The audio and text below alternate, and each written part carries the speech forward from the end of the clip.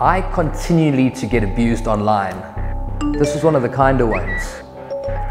You woman, you're not that strong, and soon you'll have nowhere to hide. I'm gonna make you famous for all the wrong reasons. Just ignore it, they say. Move on, get over it. But what is seen goes in, and it's traumatizing. This amplifies violence against women. Every woman shares your story. Don't be afraid to tell it.